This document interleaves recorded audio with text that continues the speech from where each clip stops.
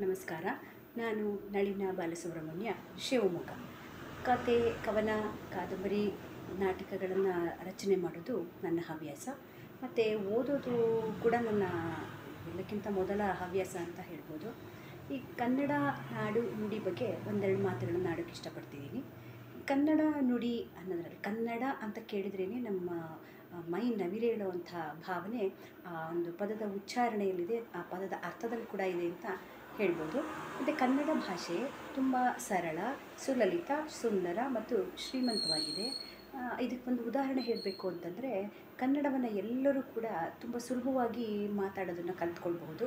ಬೇರೆ ಭಾಷೆಗೆ ಹೋಲಿಸಿದರೆ ಕನ್ನಡ ಅತೀ ಸುಲಭವಾಗಿದೆ. ಮತ್ತು ಶ್ರೀಮಂತ ಹೇಗೆ ಅಂತಂದರೆ ಕನ್ನಡದಲ್ಲಿ ಒಂದು ಪದಕ್ಕೆ ತುಂಬ ಅರ್ಥಗಳದಕ್ಕೂ ಇರ, ಇದೆ. ಮತ್ತು ತುಂಬ ಪದಗಳ ಭಂಡಾರನೇ ಇದೆ ಅಂತ ಹೇಳ್ಬೋದು. ಮತ್ತು ಇನ್ನೊಂದು ಮುಖ್ಯವಾದ ವಿಷಯ ಅಂದರೆ ಕನ್ನಡ ಲಿಪಿಗಳ ರಾಣಿ ಅಂತ ಕೂಡ ಹೇಳ್ಬೋದು. ಅಂದರೆ ಕನ್ನಡ ಭಾಷೆಗೆ ಲಿಪಿ ಇದೆ. ಬೇರೆ ಬೇರೆ ಇನ್ನೊಂದು ಭಾಷೆ ಬಿಟ್ಟು ಮತ್ತು ಬೇರೆ ಯಾವ ಭಾಷೆಯೂ ಕೂಡ ಲಿಪಿ ಇಲ್ಲ. ಕನ್ನಡ ಭಾಷೆನ ಸುಂದರವಾಗಿ ಯಾಕಿದೆ ಅಂತಂದರೆ ನಾವು ಅದನ್ನು ಒಂದೊಂದು, ಪ್ರತಿಯೊಂದು ಪದ ಕೂಡ ವಿಶೇಷವಾಗಿದೆ. ಅಂದರೆ ಬೇರೆ ಪದಗಳಿಗಿಂತ ಕನ್ನಡ ಪದದ ಉಚ್ಚಾರಣೆ ಮಾಡೋದಕ್ಕಾಗಲಿ ಅಥವಾ ಅದನ್ನು ಕೇಳೋದಕ್ಕಾಗಲಿ ತುಂಬ ಆತ್ಮೀಯವಾಗಿರುತ್ತೆ.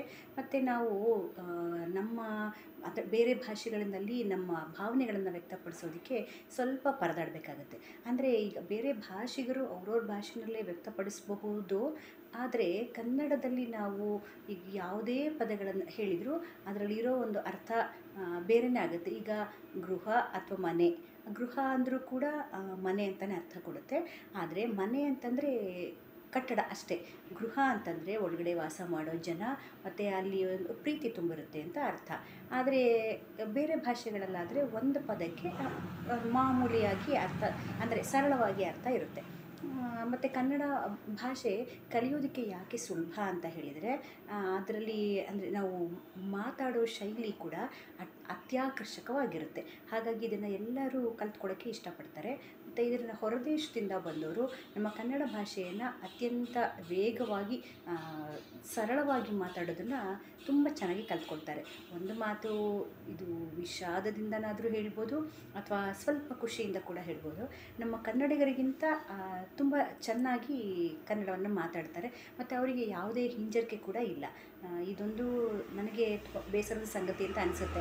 ಅಂದರೆ ನಾವು ಕನ್ನಡಿಗರಾಗಿ ಕನ್ನಡವನ್ನು ಬಳಸೋದು ತುಂಬ ಕಡಿಮೆ ಮಾಡಿ, ನಾವು ಆಂಗ್ಲ ಭಾಷಾ ವ್ಯಾಮೋಹಕ್ಕೆ ಸಿಲುಕ್ತಾ ಇರೋದು ಅತ್ಯಂತ ವಿಷಾದನೀಯ ಸಂಗತಿ ಅಂತ ಅನಿಸುತ್ತೆ. ಮತ್ತು ಕನ್ನಡ ತುಂಬ ಹಳೆಯ ಭಾಷೆ ಕೂಡ. ಹಾಗಾಗಿ ಇದಕ್ಕೆ ತುಂಬ ಹಲವಾರು ವರ್ಷದ ಇತಿಹಾಸ ಕೂಡ ಇರೋದ್ರಿಂದ ಇದನ್ನು ನಾವು ಇನ್ನು ನಮ್ಮ ಮುಂದಿನ ಪೀಳಿಗೆಗೂ ಕೂಡ ಈ ಭಾಷೆಯನ್ನು ಕೊಡಬೇಕು ಅನ್ನೋದು ನನ್ನ ಆಶಯ. ಕನ್ನಡ ಇನ್ನು ನಾಡಿನ ಬಗ್ಗೆ ಹೇಳೋದಾದರೆ ಶಿಲ್ಪಕಲೆ ನೃತ್ಯಕಲೆ ಎಲ್ಲರಲ್ಲೂ ಕೂಡ ಕನ್ನಡ ನಾಡು ಮುಂಚೂಣಿಯಲ್ಲಿದೆ. ಕರುನಾಡು, ಕರು ಅಂತಂದರೆ ಹಸು, ಅಂದರೆ ಹಸುವಿನ ಮಗು. ಅಂದರೆ ಕ ಹಸು ಕೂಸು ಅಥವಾ ಹಸು ಕರು ಕರು ಅಂದರೆ ಈಗ ಮಕ್ಕಳ ಥರ ಅಂದರೆ ಮನಸ್ಸು ತುಂಬ ಮುಗ್ಧವಾಗಿರುತ್ತೆ ಪರಿಶುದ್ಧವಾಗಿರುತ್ತೆ. ಹಾಗೆ ನಮ್ಮ ನಾಡು ಕೂಡ ಅದೇ ಅದೇ ಥರ ಪರಿಶುದ್ಧವಾಗಿದೆ. ಮತ್ತು ನಾವು ಬೇರೆ ಭಾಷಿಗರನ್ನಾಗಲಿ ಬೇರೆ ಪ್ರಾಂತ್ಯದವರನ್ನಾಗಲಿ ಅತ್ಯಂತ ಆತ್ಮೀಯವಾಗಿ ಪ್ರೀತಿಯಿಂದ ಒಪ್ಕೊಳ್ತೀವಿ. ಹಾಗೆ ಅವರನ್ನು ನಾವು ಸ್ವಾಗತ ಕೂಡ ಮಾಡ್ತೀವಿ. ಮತ್ತು ಅವ್ರ ಭಾಷೆಯಲ್ಲೇ ನಾವು ನಮ್ಮ ಭಾ, ನಮ್ಮ ಭಾವನೆಗಳನ್ನು ವ್ಯಕ್ತಪಡಿಸೋದ್ರಿಂದ ಅವರಿಗೆ ಖುಷಿ ಆಗುತ್ತೆ. ಆದರೆ ನಾವು ನಮ್ಮ ಕನ್ನಡವನ್ನು ಕಲಿಸೋ ನಿಟ್ಟಿನಲ್ಲಿ ಹೆಜ್ಜೆ ಇಡಬೇಕು ಅನ್ನೋದು ನನ್ನ ಅಭಿಪ್ರಾಯ. ಮತ್ತು ಇನ್ನು ನಾವು ಒಂದು ಇನ್ನೊಂದು ಹೇಳೋದಾದರೆ ನಾವು ಒಂದು ಬಳಸುವ ವಸ್ತುಗಳಿಗೆ ನಮ್ಮ ನಾಡಿನ ಒಂದು ಆಯಾಯ, ವಿಶೇಷವಾದ ಪ್ರಾಂತ್ಯದ ಹೆಸರನ್ನು ಇಟ್ಟಿರೋದು ಒಂದು ವಿಶೇಷತೆ ಅನ್ಕೋಬೋದು. ಉದಾಹರಣೆಗೆ ಮೈಸೂರು ಪಾಕ್ ಅಂತ ಒಂದು ತಿಂಡಿ. ಅದು ತಿಂಡಿ ತುಂಬ ಅಂದರೆ ಸಿಹಿ ಸಿಹಿ ತಿಂಡಿ. ಅದು ಎಲ್ಲ ಕಡೆ ತುಂಬ ಪ್ರಸಿದ್ಧಿಯಾಗಿದೆ. ಅದಕ್ಕೆ ಮೈಸೂರು ಮಹಾರಾಜರು ಅವರ ಅಡುಗೆಯವರಿಂದ ಇದನ್ನು ಮಾಡಿಸಿ, ಅದಕ್ಕೆ ಮೈಸೂರು ಪ್ರಾಂತ್ಯದಲ್ಲಿ ಇದನ್ನು ಕಂಡುಹಿಡಿಯೋದ್ರಿಂದ ಕಂಡು ಹಿಡಿದಿರೋದ್ರಿಂದ ಇದಕ್ಕೆ ಮೈಸೂರು ಪಾಕ್ ಅಂತ ಹೆಸರು ಕೊಟ್ಟರು ಅಂತ ಹೇಳ್ಬೋದು. ಇದರ ರುಚಿನ ಅದು ಮಾತಲ್ಲಿ ವರ್ಣಿಸೋಕ್ಕೆ ಕಷ್ಟ ಅಂತ ಹೇಳ್ಬೋದು. ಮತ್ತು ಮೈಸೂರು ಮಲ್ಲಿಗೆ ಇದರ ಪರಿಮಳ ಅಂತೂ ತುಂಬ ಪ್ರಸಿದ್ಧಿಯಾಗಿದೆ. ಮತ್ತು ಹೂವು ಮುಡಿಕೊಳ್ಳದೆಲ್ಲ ಇರೋವರಿಗೂ ಕೂಡ ಅದನ್ನು ಮುಡಿಬೇಕು ಅನ್ನೋ ಒಂದು ಉತ್ತೇಜನ ಸಿಗೋದು ಈ ಮೈಸೂರು ಮಲ್ಲಿಗೆ ಕಂಪಿಂದ. ಇನ್ನು ಮೈಸೂರು ರೇಷ್ಮೆ ಸೀರೆ ಇದ್ರ ಬಗ್ಗೆ ಎಲ್ಲರಿಗೂ ಗೊತ್ತೇ ಇದೆ. ಮೈಸೂರು ರೇಷ್ಮೆ ಅತ್ಯಂತ ನವಿರಾದ ಮತ್ತು ಮೃದುವಾದ ಮತ್ತು ಒಂದು ನಮಗೆ ಒಂದು ಏನು ಅಂತಂದರೆ ಹಿತವಾದ ಅನುಭವವನ್ನು ಕೊಡುವಂಥ ಒಂದು ನವಿರಾದ ಭಾವನೆ, ಹಾಗೆ ನವಿರಾದ ಬಟ್ಟೆ ಕೂಡ ಹೌದು. ಇದನ್ನು ಹೊರದೇಶದವರು ಬಂದರೆ ನಾನು ನೋಡಿರೋ ಪ್ರಕಾರ ಹೊರದೇಶದವರು ಹತ್ತಿಯ ಬಟ್ಟೆ ಅಥವಾ ಅದನ್ನು ಬಿಟ್ಟರೆ ಹೆಚ್ಚಾಗಿ ಮೈಸೂರು ರೇಷ್ಮೆಯ ಸೀರೆಯನ್ನೇ ಧರಿಸೋದು ನಾನು ನೋಡಿದ್ದೀನಿ. ಮತ್ತು ಅದನ್ನು ಏನು ಅಂತಂದರೆ ನಮ್ಮ ಒಂದು ಜೀವನದ ಮಟ್ಟ ಅತ್ಯಂತ ಎತ್ತರದಲ್ಲಿದೆ, ಉತ್ಕೃಷ್ಟವಾಗಿದೆ ಅಂತ ತೋರಿಸೋದು ಕೂಡ ಇರಬಹುದೇನೋ. ಆದರೆ ನಾವು ಸೀರೆ ಉಡೋ ಮಹಿಳೆಯರಿಗೆ ಅದು ಉಟ್ಟರೆ ತುಂಬ ಹಿತವಾದ ಅನುಭವ. ಅಂದರೆ ಬೇಸಿಗೆ ಕಾಲದಲ್ಲಿ ತಣ್ಣಗಿರುತ್ತೆ, ಚಳಿಗಾಲದಲ್ಲಿ ಬೆಚ್ಚಗಿರುತ್ತೆ. ಆ ಥರ ಎಲ್ಲ ಕಾಲದಲ್ಲೂ ಹೊಂದಿಕೆ ಆಗುವಂಥ ನಮ್ಮದೇ ಕರುನಾಡಿನ, ನಮ್ಮದೇ ಮೈಸೂರು ಪ್ರಾಂತ್ಯದ ಸೀರೆ ತುಂಬ ಪ್ರಸಿದ್ಧಿಯನ್ನು ಪಡೆದಿದೆ.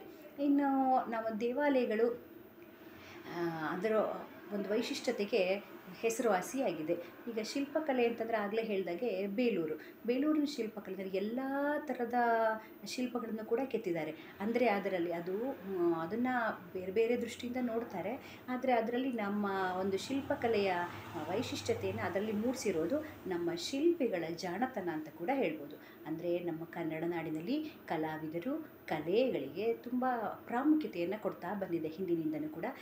ರಾಜರು ಕೂಡ ಅವ್ರು ಸ್ವತಃ ಕಲಾವಿದರಾಗಿರೋದ್ರಿಂದ ಕಲಾವಿದರನ್ನು, ಕಲೆಗ, ಕಲೆಯನ್ನು, ಕಲೆಗಳನ್ನು ಬೆಳೆಸೋದರಲ್ಲಿ ತುಂಬ ಮುಂಚೂಣಿಯಲ್ಲಿದ್ದರು ನಾವು ಈಗ ಕನ್ನಡವನ್ನು ಬೆಳೆಸಿ, ಉಳಿಸಿ ಅಂತ ಹೇಳೋದಕ್ಕಿಂತ ಕನ್ನಡವನ್ನು ಬಳಸಿ, ಬೆಳೆಸಿ ಅಂತ ಹೇಳೋದು ಸೂಕ್ತ ಅಂತ ನನ್ನ ಭಾವನೆ. ಮತ್ತು ಕನ್ನಡದಲ್ಲಿ ಅತ್ಯಂತ ಹೆಚ್ಚಿನ ಜ್ಞಾನಪೀಠ ಪ್ರಶಸ್ತಿ ತಂದುಕೊಟ್ಟಂಥ ಹೆಗ್ಗಳಿಕೆ ನಮ್ಮ ಕನ್ನಡ ಕವಿಗಳ ಪಾಲಿಗೆ ಸೇರುತ್ತೆ.